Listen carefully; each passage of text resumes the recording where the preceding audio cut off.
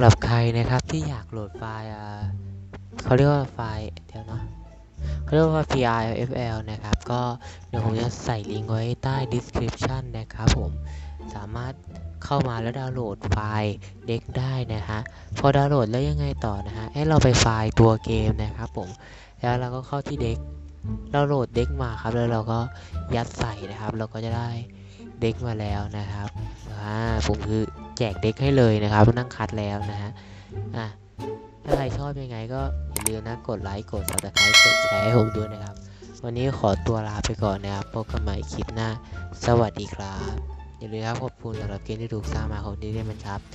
นะฮะบ๊ายบาย